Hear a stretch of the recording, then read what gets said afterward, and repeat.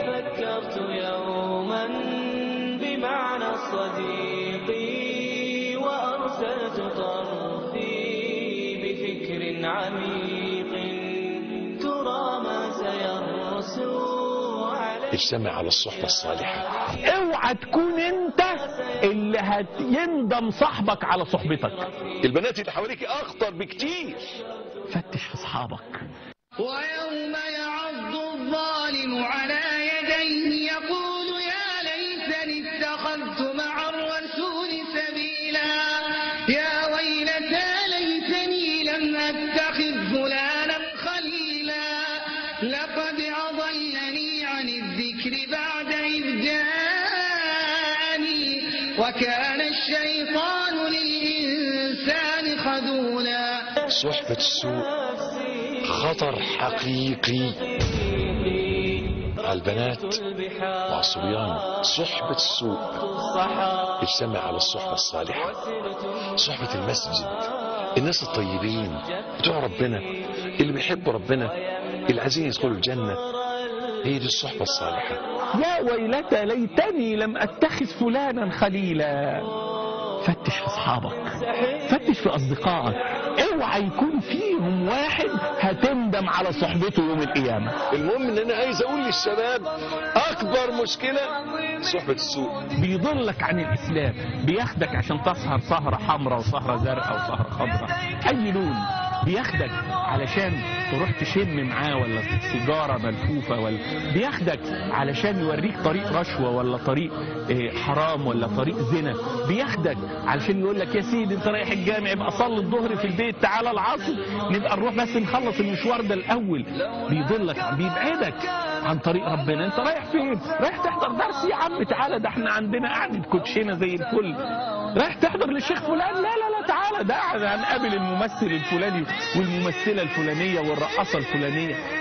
هو ده بيضلك عن الذكر اوعى يكون ليك واحد بيضلك عن ذكر ربنا علشان هتندم على صحبته يوم القيامة. صاحب من يحيا الحياء بصحبته. الله. اصحب من يحيا الحياء بصحبته. من الناس. من تستشعر في حضرتهم قيمة الحياء من الله. فوجوههم تذكرك بالله جل وعلا. ناهيك عن أقوالهم ناهيك عن أفعالهم.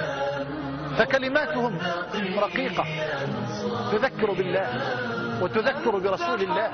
وتملأ القلوب بالحياة وتملأ القلوب بالإيمان وتملأ القلوب بالخشية من الرحيم الرحمن.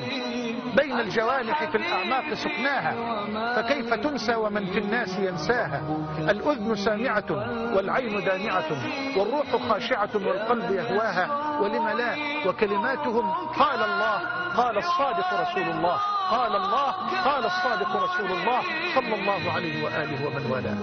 يا ويلتى ليتني لم أتخذ فلانا خليلا. طب أنت هتندم على صحبته ليه؟ ليه بتندم على صحبة الراجل ده؟ ليه بتندمي على صحبة الست ديت؟ علشان ما كانش بيسلفك فلوس؟ علشان ما كانش بيخرج معاك؟ علشان ما رضاش يجوزك أخته؟ علشان مش عارف ما رضاش يغششك في الامتحان؟ علشان ما رضاش ياخدك معاه فين؟ لا. لا. كل الكلام ده مش هتندم عليه. يا ويلتى ليتني لم أتخذ فلانا خليلا لقد أضلني عن الذكر بعد اذ جاءني شفت؟ شفت مقياس الصحبة في الإسلام؟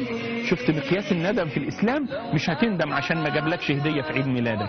مش هتندم علشان ما جابلكش هدية وهو راجع من بره. لا ده انت هتندم عشان كان بيضلك عن ذكر الله. اوعى تفكر إن البنات هم اللي هيبقوا يفسدوا ابنك. لا. ده ممكن الشباب اللي حواليه يفسدوه أكتر ويبقوا أخطر عليه من البنات. وكذلك للبنات اوعى تفكري إن الشباب هو اللي خطر عليك البنات اللي حواليك أخطر. البنات اللي حواليك أخطر بكتير. والزن على الودان. خلي بالكم أنا عايز نبعد صحب السوء سبحان الله العظيم. خليك مع الله. اوعى تكون انت اللي هيندم صاحبك على صحبتك. اوعى حد من اصحابك يوم القيامة يندم على انه كان مصاحبك. اوعى تكون انت اوعى تكوني انت اللي بتضل حد عن ذكر ربنا. اوعى اوعى تكوني انت اللي جارتك هتندم على صحبتك. اوعى تكون انت اللي زميلك في الشغل هيندم على صحبتك. عرفت مشكلتك جاية منين؟ عرفت مأساتك أصلها إيه اللهم إنا نعوذ بك من صحبة السوء. اللهم إنا نعوذ بك من جار السوء. ونعوذ بك من صحبة السوء. يوما بمعنى الصديق وأرسلت طريقا